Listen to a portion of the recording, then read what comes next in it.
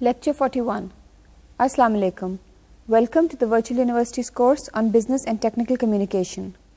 Now that we've looked at the mechanics and uh, the language of written communication, let's have a look at oral communication. In this lecture, we're going to look at listening and interviewing. You will learn how to apply the communication process to oral communication and summarize the skills involved in being an effective listener. You will also identify nine common types of business interviews. Let's think of the most common communication situations uh, orally in a business situation. Where are you more likely to communicate verbally and where are you more likely to communicate uh, in a written fashion? Written communication uh, की तो हमने अभी तक बात खासी की है हमने बताया आपको कि आप रिपोर्ट्स लेटर्स मेमोज ईमेल्स इन सब चीज़ों से आप रिटर्न कम्युनिकेशन करते हैं बिज़नेस और टेक्निकल सिचुएशंस में। अब ओरल कम्युनिकेशन आपकी किन किन कॉन्टेक्स्ट में होती है? ज़ाहिर है, एक ओरल कम्युनिकेशन तो आपकी वो है जब आप अपनी कंपनी में आपस में लोगों से कैजुअल बात कर रहे हैं। फिर आपकी ओरल कम्युनिकेशन प्रेजेंटेशंस के तौर पे भी होती है जब आप कोई फॉर्मल प्रेजेंटेशन दे रहे हैं। और ओरल कम्युनिकेशन आप इंटरव्यूज़ दे रहे हैं या इंटरव्यूज़ ले रहे हैं, वो भी ओरल कम्युनिकेशन में शामिल होता है। और मीटिंग्स में भी आपकी ज़्यादातर ओरल ही कम्युनिकेशन होती है। जो नोट्स लिए जा रहे होते हैं, वो सेकेंडरी होता है। जो मेन कम्युनिकेशन मोड होता है, वो ओरल होता है। And calling a meeting in an office or in a company isn't unusual executives do it every day most executives call meetings every day either they meeting with the whole department or they meeting with one or two people or with in the organization or people outside the organization but they are meeting. Uh, so, any kind of formal situation where you uh, have people in your office or you are going to somebody's office for a formal or semi-formal uh, talk related to business would be a meeting.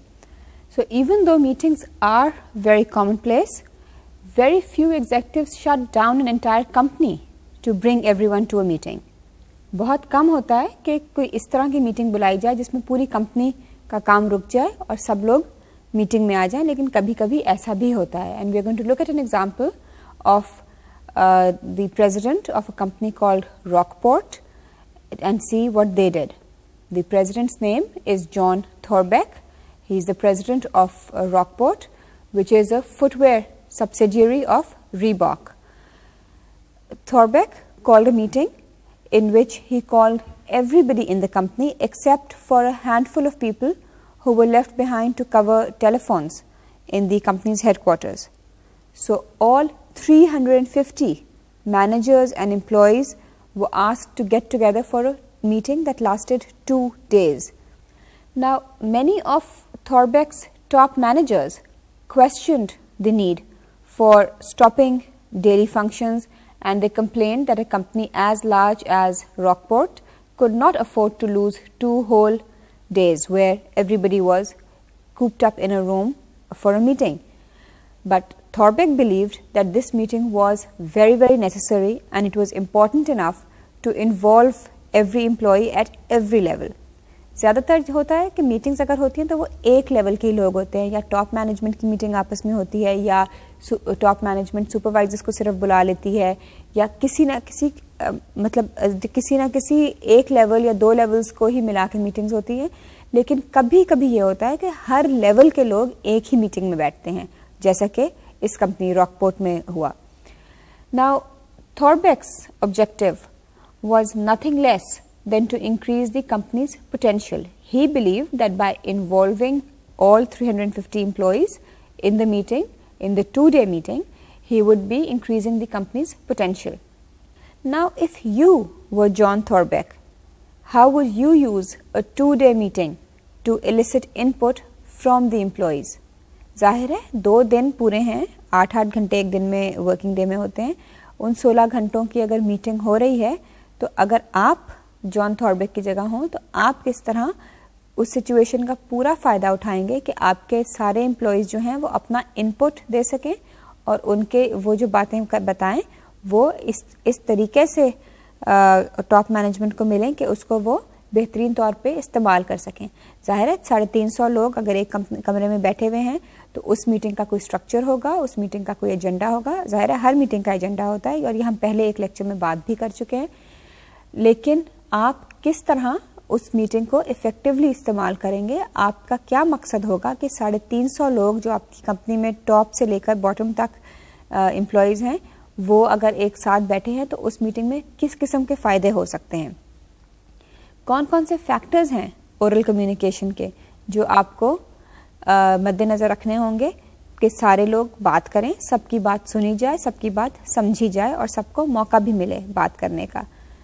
Also what good listening skills would be valuable in such a situation and what would you do to make sure that the meeting was productive कहीं ऐसे तो नहीं कि meeting में बस सब बोल रहे हैं, कोई स्ट्रक्चर नहीं है, कोई सिस्टम नहीं है, कोई किसी की बात नहीं सुन रहा, एक दूसरे की बात काट के बोल रहे हैं, कोई प्रोडक्टिविटी उस मीटिंग से जनरेट नहीं हो रही, लेकिन बस एक शोर शराबा हो रहा है। ज़ाहिर है, ऐसी मीटिंग तो इनफेक्टिव होगी। तो अगर आप जॉन थॉर्बिक की जगह हो तो आप क्या करेंगे कि आपकी मीटिंग इफ़ेक्टिव हो प्रोडक्टिव हो, और सब जो लोग हैं, वो सब अपने अपने ख्याल जो हैं, उनका इजहार कर सकें और सब एक दूसरे को सुन भी सकें। ना rock Rockport's John Thorbeck knows that speaking and listening are the most important communication skills that we use and they are the most common communication skills that we use And he also knows that given a choice, people would rather talk to each other than write to each other. And that is why he called all the people to a meeting together so that they could discuss company policies, they could discuss all the company procedures instead of getting people to write about them. Also, talking takes less time and needs no composing, typing, rewriting, retyping, duplicating or distributing.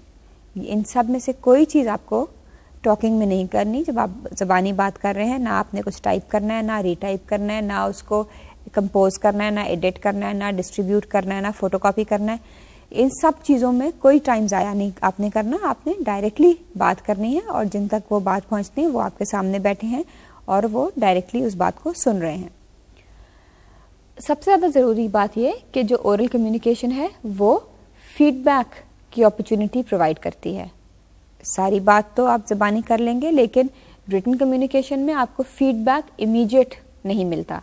आपको जवाब का इंतज़ार करना पड़ता है। जब आपने एक चीज़ लिख के भेज दी, पढ़ने वाला उसको पढ़ेगा, फिर जवाब देगा, शायद उसी दिन दे, शायद कुछ दिन बाद दे, आपको नहीं पता। लेकिन ओरल कम्युनिकेशन में जब आपने एक बात की, बेशक किसी से फेस टू फेस या टेलीफोन पे तो फिर आपको उसी वक्त उसका कोई ना कोई फीडबैक मिल जाता है। Also when people communicate orally, they can ask question they can test their understanding of the message through those question अगर कोई चीज़ नहीं समझ आई तो उसी वक्त उसके बारे में सवाल पूछ के अपनी अंडरस्टैंडिंग को क्लियर क्लैरिफाई कर लिया जाता है। या अगर आ, आ, बोलने वाले ने आ, को भी कोई सुनने वाले का आ, जो है फीडबैक समझ नहीं आया तो वो भी उसी वक्त क्लैरिफिकेशन मांग सकते हैं। Also through oral communication people can share ideas and work together to solve problems instead of sitting in isolation and working at their own desks.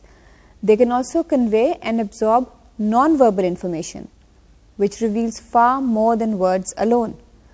Non-verbal information, non-verbal communication वो होती है जो अल्फाज के बग़ैर की जाए या अल्फाज का सहारा जिसमें ना लिया जाए लेकिन बग़ैर अल्फाज के जो कम्युनिकेशन हो जिस तरह की हमारी हमारी बॉडी लैंग्वेज हमारे फेशियल एक्सप्रेशन ये सब नॉन वर्बल कम्युनिकेशन में आ जाते हैं क्योंकि इनमें कोई अल्फाज नहीं इस्तेमाल किए जा रहे लेकिन जो सुनने वाले हैं देखने वाले हैं उन तक कोई ना कोई मैसेज पहुँच रहा है by communicating with facial expressions eye contact tone of voice gestures and posture, people can send subtle messages that add another dimension to the spoken words.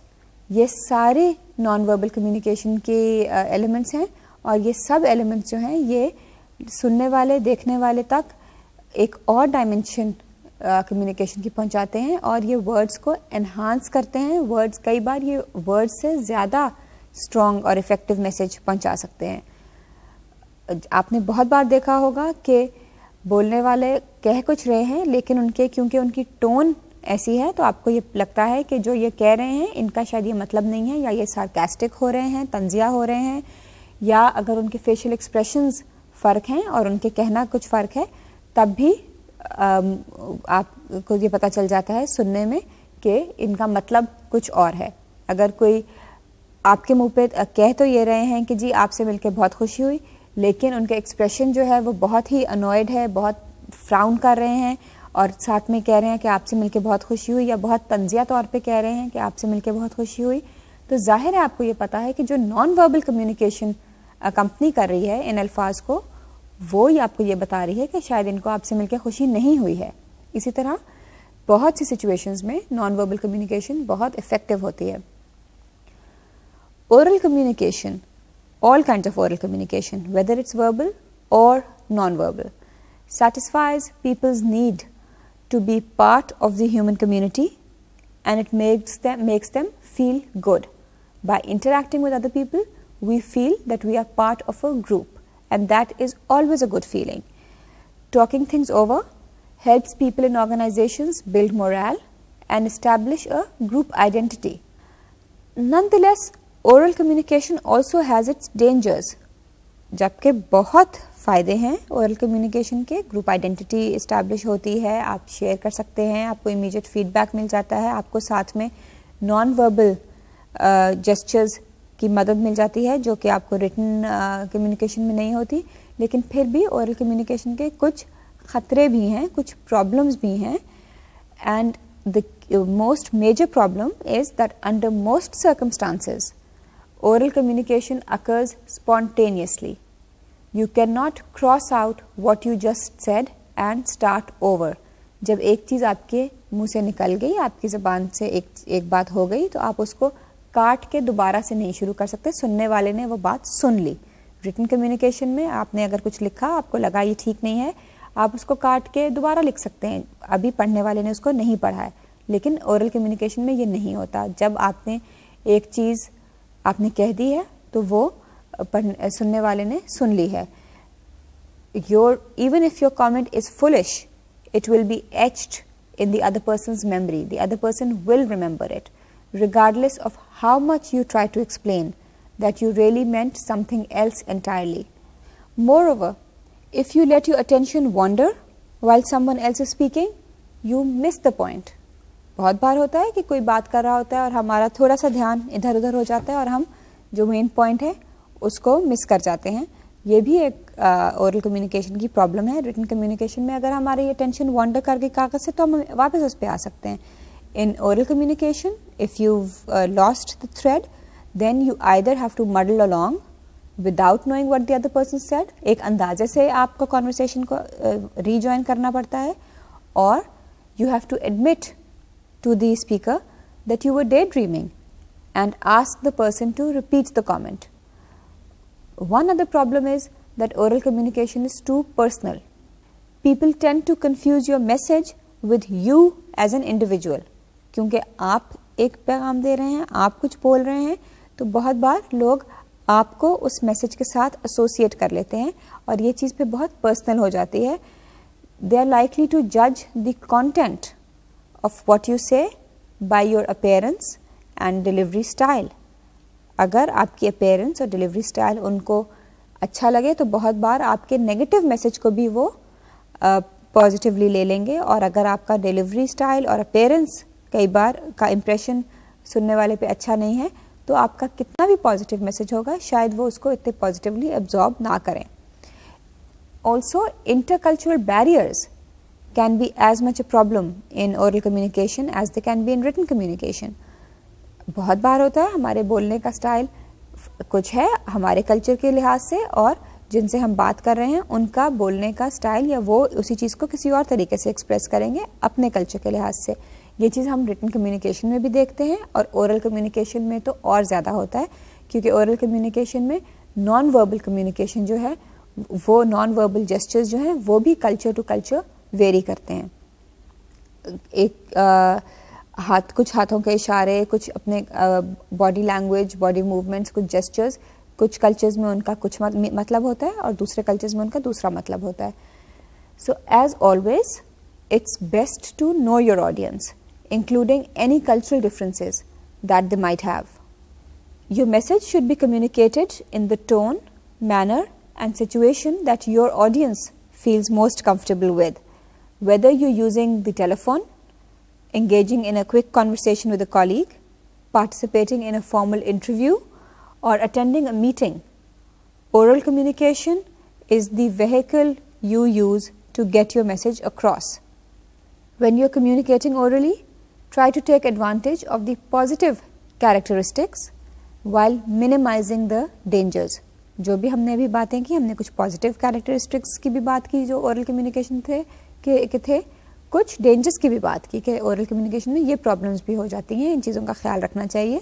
तो आप ये कोशिश करें कि जो पॉजिटिव कैरेक्टरिस्टिक्स हैं ओरल कम्युनिकेशन के, वो तो आप उनका उनसे भरपूर फ़ायदा उठाएँ, लेकिन जो डेंजर्स हैं, उनसे आप, उनसे दूर रहें। कोशिश करें कि वो प्रॉब्लम्स आपकी कम्युनिकेशन में अकर ना करें। And to achieve this goal you need to work on improving your listening skills and your speaking skills ये दो स्किल्स हैं जो की स्किल्स हैं ओरल कम्युनिकेशन में speaking and listening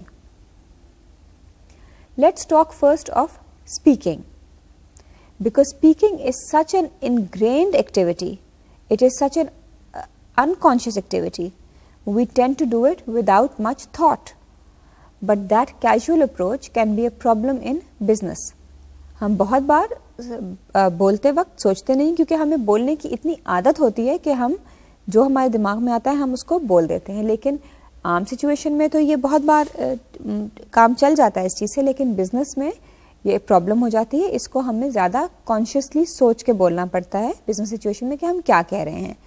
You need to be more aware of using speech as a tool for accomplishing your objectives in a business situation to do this You need to break the habit of talking spontaneously without planning what you're going to say and how you're going to say it. आपको अब business situation में आपको सोचना होगा पहले से plan करना होगा कि आपने क्या कहना है और उसको किस तरह कहना है Also, you need to learn to manage the impression that you create by consciously tailoring your remarks and delivery style to suit the situation आप जब भी बोलते हैं जिस तरह बोलते हैं उससे आपका एक इम्प्रेशन क्रिएट होता है आपके कंटेंट uh, का एक इम्प्रेशन क्रिएट होता है और आपने उस इम्प्रेशन को मैनेज करना है उस इम्प्रेशन को क्रिएट करना है कि वो सही इम्प्रेशन आप क्रिएट कर सकें। अपने जो आपका डिलीवरी स्टाइल है और आपके जो रिमार्क्स हैं उनको इस तरह मोल्ड करके कि वो सिचुएशन के मुताबिक मौजू हों। You also need to become aware of the consequences of what you say as you are aware of the consequences of what you write. आप ये हमेशा सोचें कि जो आप कह रहे हैं, उसके भी उसी तरह कोई ना कोई नतीजे होंगे, कोई ना कोई कॉन्सिक्वेंसेज होंगे, जिस तरह के आपकी रिटर्न कम्युनिकेशन के होते हैं with a little effort you can learn to apply the composition process to oral communication हमने कॉम्पोजिशन प्रोसेस की पहले भी बात की है रिटर्न कम्युनिकेशन के हवाले से कि आप पहले अपने आइडियाज़ को अपने दिमाग में कंपोज करते हैं और फिर उसको आप लिखते हैं इसी तरह आप पहले अपने आइडियाज़ को कंपोज करें प्लान करें और फिर उनको बोलें you need to as in written communication in oral communication also you need to think about your purpose your main idea and your audience before you speak you need to organize your thoughts in a logical way. You need to decide on a style that suits the occasion and edit your remarks mentally. यही सब चीज़ें आप return communication में भी करते हैं, आप organise करते हैं अपने आइडियाज़ को, आप अपना स्टाइल चूज़ करते हैं, आप एडिटिंग करते हैं और यही सब चीज़ें आपने वर्बल कम्युनिकेशन औरल कम्युनिकेशन में भी करनी है। Also as you speak watch the other person judging from verbal and non verbal feedback whether your message is making the desired impression or not आपको एक जो एज है ओरल कम्युनिकेशन में written communication के मुकाबले में वो ये है कि आपको, जैसे कि मैंने पहले भी कहा, आपको फीडबैक मिल रहा है साथ के साथ। तो आप इसका पूरा फ़ायदा उठाएँ। जैसे कि आप, जब आप बोल रहे हैं तो आप फीडबैक साथ साथ देखें। जो आपके सुनने वाले हैं, वो अगर कोई वर्बल या नॉन वर्बल फीडबैक आपको दे रहे हैं, कोई मैसेज दे रहे हैं, उनके एक्सप्रेशन देखें, उनकी कोई अगर वो बीच में कमेंट्स दे रहे हैं, उनको सुने और उससे ये अंदाज़ा लगाएँ कि आपका जो मैसेज है, उसका डिज़ायर्ड इफ़ेक्ट हो रहा है या नहीं? जो आप उस मैसेज से चाहते हैं, आप वो अचीव कर पा रहे हैं या नहीं? And if you are not then revise and try again reword करें अपने मैसेज को, दोबारा से कहें, ताकि आपके सुनने वाले तक जो डिज़ायर्ड इफ़ेक्ट है, वो पहुँच जाए। Just as various writing situations और various writing assignments call for different writing styles various speaking situations call for various speaking styles. Your speaking style depends on the level of intimacy between you and the listener and on the nature of your conversation.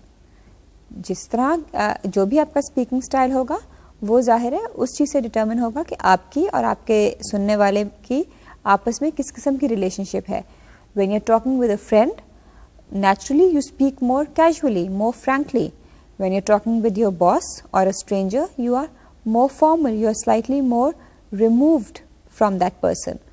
When you're talking about a serious subject, you use a serious tone. When you're talking about something casual, even in office, your tone is also more casual. So, depending on the person and the topic, your speaking style will vary. As you think about which speaking style is appropriate, think too about the non-verbal message you want to convey because people derive less meaning from your words than they do from your facial expressions, your vocal characteristics and your body language. तो जबकि आप साथ में अपना verbal message plan कर रहे हैं compose कर रहे हैं आप साथ साथ सोचिए कि आपने नॉन वर्बल भी किस तरह आपने कि किस तरह मैसेज नॉन वर्बली भी पहुंचाना है क्यों ताकि आपके वर्बल और नॉन वर्बल मैसेजेस जो हैं वो मैच करें और लोगों तक को सही मैसेज पहुँचे The non-verbal message should reinforce your words.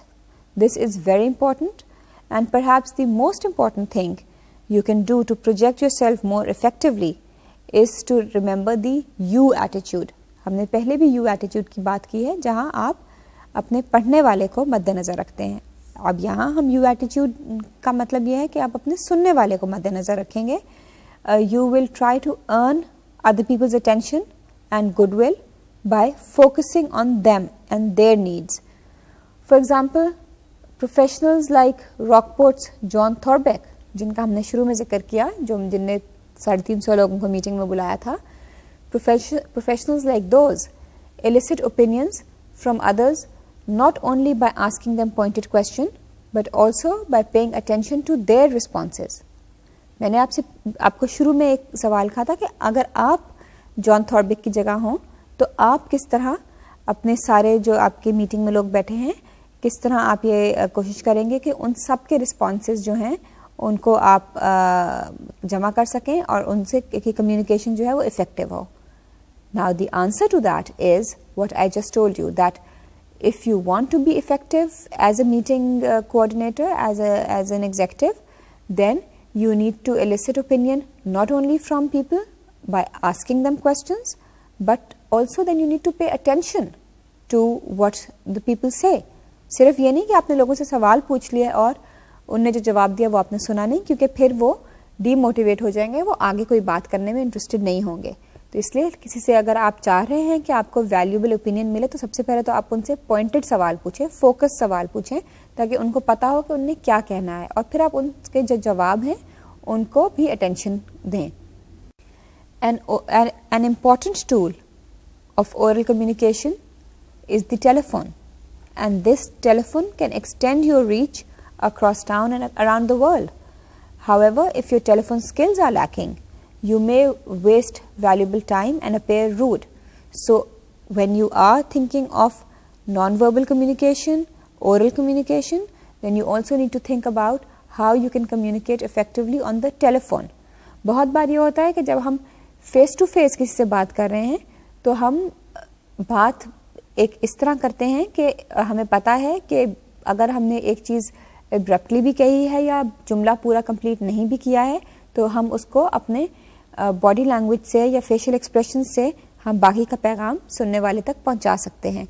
लेकिन टेलीफोन पे हम ये नहीं कर सकते। टेलीफोन पे बात करने के कुछ एटिकेट्स फ़र्क हैं टेलीफोन पे बात करने के कुछ क्राइटेरिया फ़र्क है, क्योंकि टेलीफोन पे जो एसेंशियल एक ओरल कम्युनिकेशन का एलिमेंट है नॉन वर्बल कम्युनिकेशन वो सुनने वाले तक नहीं पहुँच रहा। वो सिर्फ़ आपकी आवाज़ सुन सकते हैं, वो आपको देख नहीं सकते।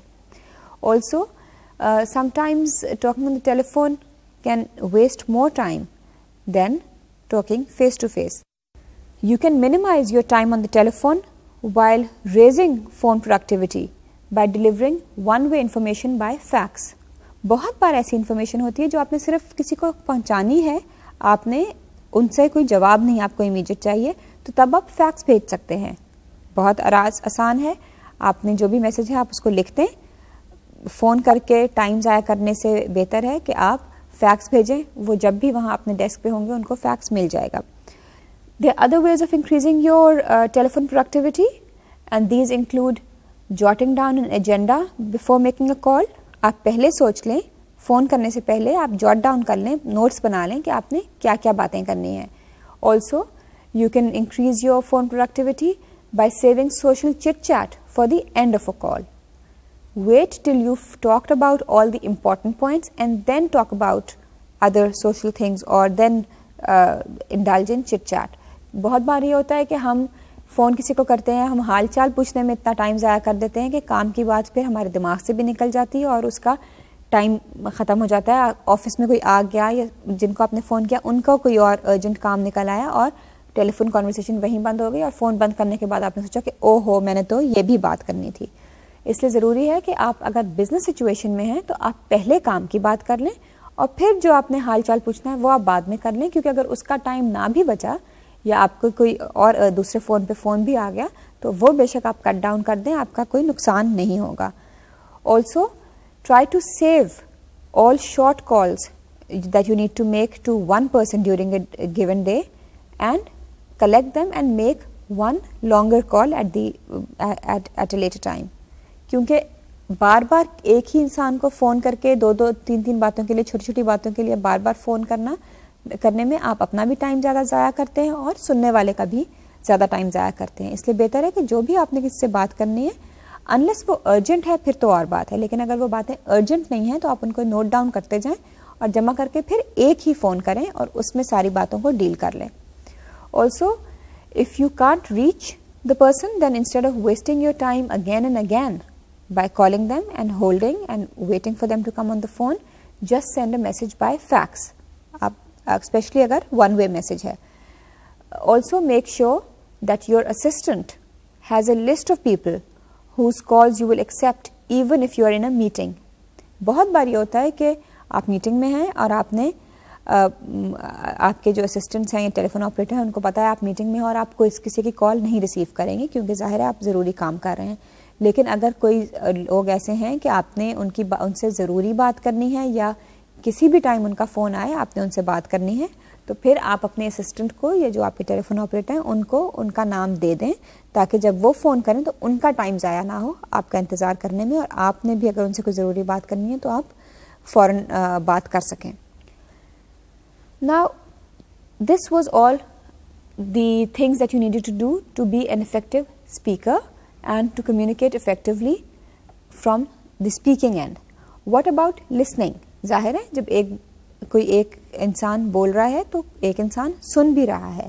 So in a business situation listening is the other important other key element if you are typical you spend half your communication time listening ज़ाहिर है आधे टाइम आप बोल रहे हैं, अगर आप, और बाकी आधे टाइम आप सुन भी तो रहे हैं।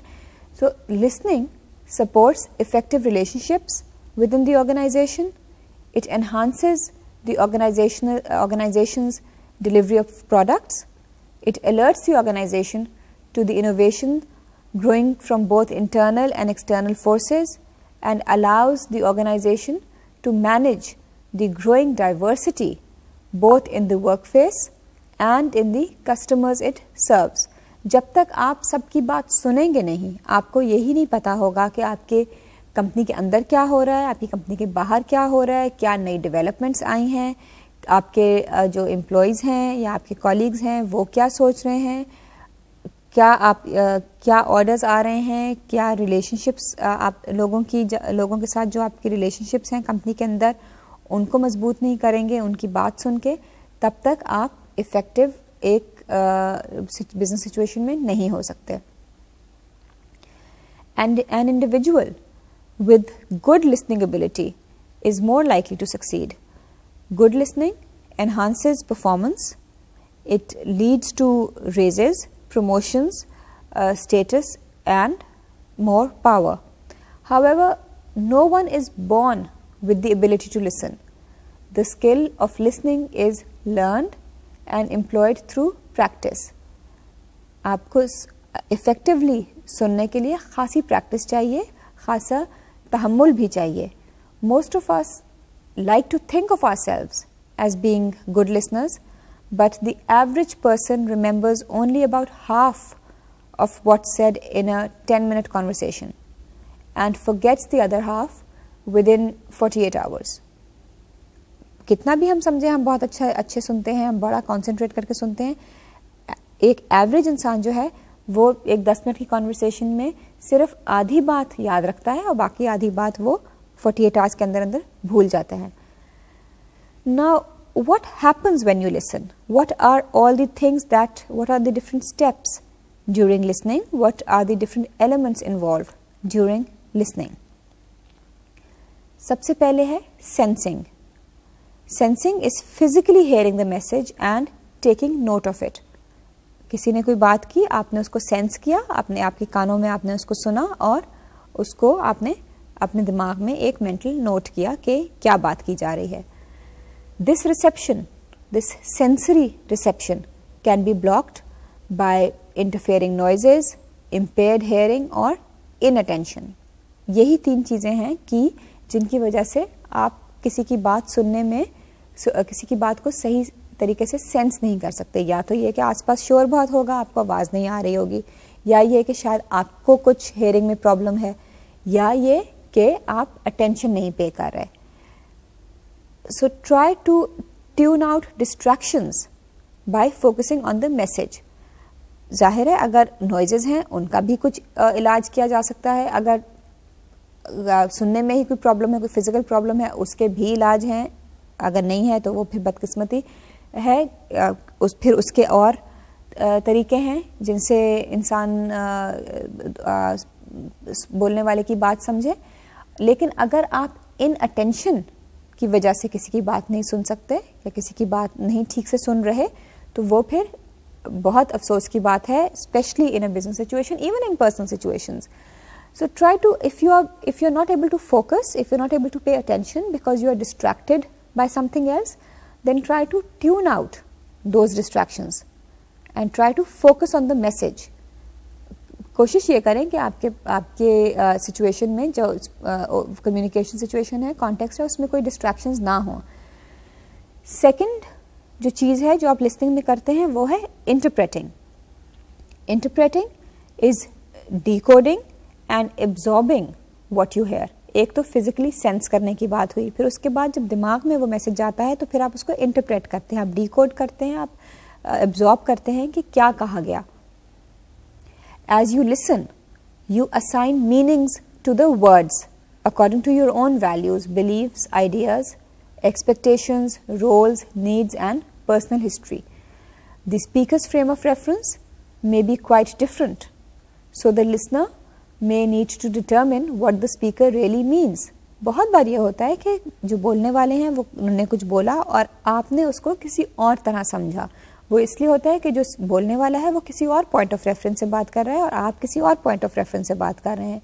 आप जो मीनिंग उन अल्फाज को दे रहे हैं, आप अपनी values beliefs ideas expectations roles needs और अपनी पर्सनल हिस्ट्री के हिसाब से दे रहे हैं, जबकि वो अपनी पर्सनल हिस्ट्री और अपनी वैल्यूज़ के हिसाब से बोल रहे हैं।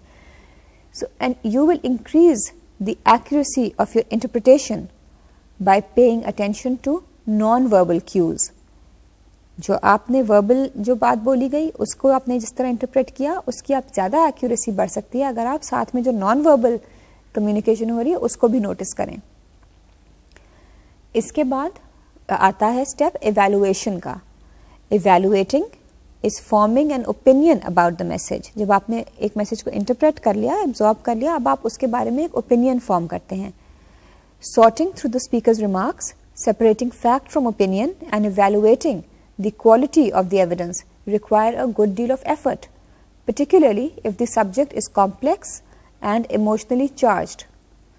Avoid the temptation to dismiss ideas offered by people who are unattractive or abrasive and uh, embrace instead ideas offered by people who are charismatic speakers. This is uh, this does not make for good listening because you can't judge the content of uh, spoken oral communication by the uh, impression that you have of people. So, you need to listen to what people are saying to actually interpret and evaluate their message effectively. After you've evaluated, there are some things which remain in your mind and some things which you forget. As I said, an average person forgets half of what they hear within 48 hours. Remembering is storing a message for future reference. When you remember something, then you can use it for future reference. As you listen, retain what you hear by taking notes or making a mental outline of the speaker's key points. This will help you to remember better. And if once you when you remember things, then you are better uh, able to respond to people better. That is the, uh, the other step in listening. Responding is acknowledging the message by reacting to the speaker in some fashion. आप बेशक respond करें silence के साथ अगर आपको बात शायद नहीं पसंद आई या आप सोच रहे हैं लेकिन वो भी बेशक आपने एक वर्बल कम्युनिकेशन नहीं की लेकिन आपका साइलेंस भी एक रिस्पॉन्स है If you communicating one on one or in a small group the initial response generally takes the form of verbal feedback. If you're one of many in an audience, you may act upon what you've heard. Even that is a response. actively provide feedback to help the speaker refine the message. That is the best response that you can give your speaker.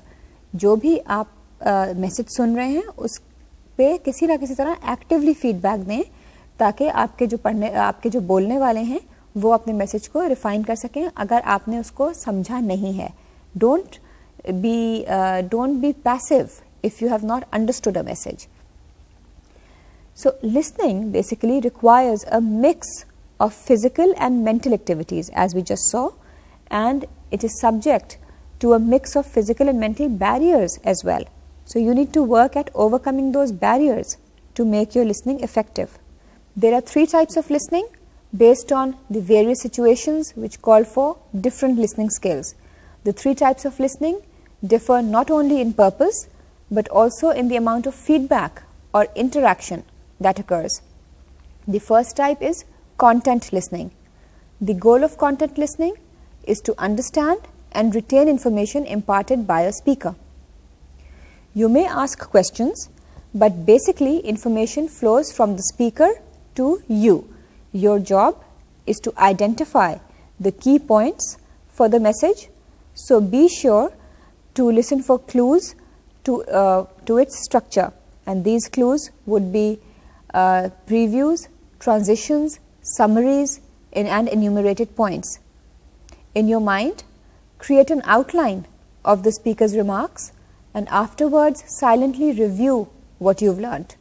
You may take notes, but do this sparingly so that you can concentrate on the key points. Don't waste all your concentration on making notes because if you uh, concentrate too much on writing, then you will not be able to listen effectively.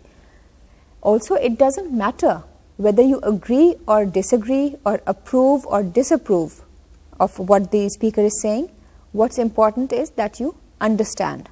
The second type of listening is critical listening. The goal of critical listening is to evaluate the message at several levels.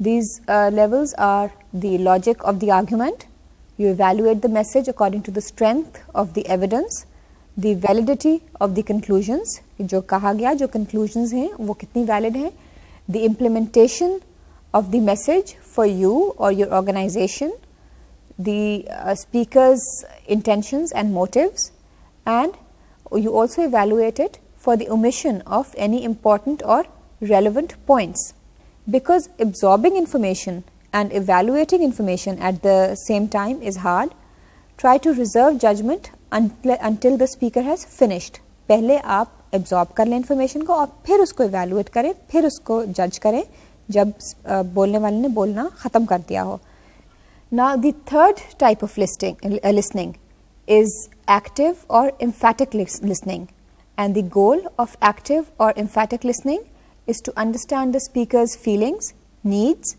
and wants so that you can appreciate his or her point of view regardless of whether you share that perspective or not. By listening in an active or emphatic way, you help the individual vent the emotions that prevent a dispassionate approach to the subject. Try not to judge the individual's feelings and just let the other person talk. All three types of listening can be useful in work related situations, so it pays to learn how to apply them. You need to learn how to be a better listener regardless of whether the situation calls for content, critical or active listening. You can improve your listening ability by becoming more aware of the habits that distinguish good listeners from bad. In addition, put non-verbal skills to work as you listen, which means that you should maintain eye contact, react positively or responsively with head nods or spoken signals, and pay attention to the speaker's body signals. You might even test yourself from time to time. When someone is talking, ask yourself whether you're actually listening to the speaker or mentally rehearsing how you will respond. बहुत बार ये होता है कि हम कोई बोल कोई बोल रहा होता है तो हम अपने दिमाग में सोच रहे हैं कि हमने क्या जवाब देना है and that does not make for good listening above all try to be open to the information that will lead to higher quality discussions and try to accept the feeling that will build understanding and mutual respect. If you do this, you will be on the way to becoming a good listener. And this is an important quality when, when in, in any business situation, specifically when conducting business interviews. And we are uh, going to be looking at business interviews in a while. Let's have a look at a grid which, show, which shows the difference between good and bad listening.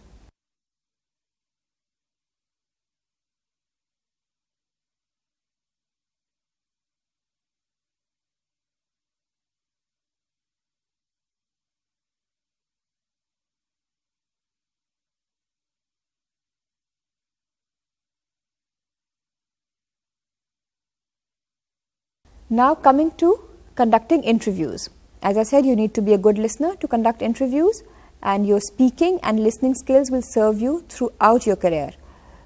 From the day you apply for your job until the day you retire, you will be involved in a wide variety of business interviews. These interviews are actually planned conversations with a predetermined purpose that involve asking and answering questions. In a typical interview, the action is controlled by the interviewer, the person who schedules the session. This individual poses a series of questions which are designed to elicit information from the interviewee. Interviews sometimes involve uh, several interviewers or several interviewees, but most often there are only two people involved. The conversation bounces back and forth from the interviewer to the interviewee, the person who is being interviewed. Although the interviewer guides the conversation, the interviewee may also seek to accomplish a purpose and the interviewee might want perhaps to obtain or provide information or to solve a problem or to create goodwill or to persuade the other person to take some action. If the participants within an interview establish rapport and stick to the subject at hand, then both parties have a good chance of achieving their objective. To help you understand interviews on the job, we will discuss how interviews are categorized, how you can plan for them, what sorts of questions you can use, and how you can structure them. Let's first categorize interviews. The interviewer establishes the style and structure of the session depending on the purpose of the interview and relationship between the parties much as a writer writes the, uh, the style, varies the style and structure of the written message to suit the situation. Each situation calls for a slightly different approach as you can imagine when you try to picture yourself conducting some of these common business interviews. There are job interviews where the job candidate wants to learn about the position uh, of the and the organization, the employer wants to learn about the applicant's abilities and experience and they both wish to make a good impression. Initial job interviews are fairly formal and structured, but later interviews may be relatively spontaneous. Then there are information interviews. In this, the interviewer seeks facts that bear on a decision or contribute to basic understanding. Information flows mainly in one direction. One person asks a list, list of questions that must be covered and listens to the answers. Then there are persuasive interviews. One person tells another about a new idea, product or service and explains why the other should act on the recommendation. Their persuasive interviews are usually associated with selling. The persuader asks about the other person's needs and shows how the product or concept is able to meet those needs. Persuasive interviews require skills in drawing out and listening to others, as well as the ability to impart information. Exit interviews are those where the interviewer tries to understand why the interviewee is leaving the organization or transferring to another department or division. a department employee can provide insight into whether the business is being handled effectively or not at an exit interview by saying why they want to leave. The interviewer tends to ask all the questions and the interviewee provides the answers. It's more uh, one way in that sense. And encouraging the employee to focus on, on events and processes rather than on personal gripes will elicit more useful information for the organization. Evaluation interviews are those where a supervisor is giving an employee feedback on their performance. The supervisor and the employee discuss progress towards predetermined standards or goals and evaluate areas that need improvement. They may also discuss goals for the coming year as well as the employee's long-term aspirations and general concerns. Counseling interviews are those where a supervisor or a senior meets with an employee and discusses their personal problems that are interfering with the job performance. The interviewer is concerned with the welfare of both the individual and the organization. The goal is to establish the facts, convey the company's concerns and steer the other person towards a source of help. Only a trained professional should offer counseling or advice on such uh, um, problems as drug abuse, substance abuse, marital tension and financial trouble.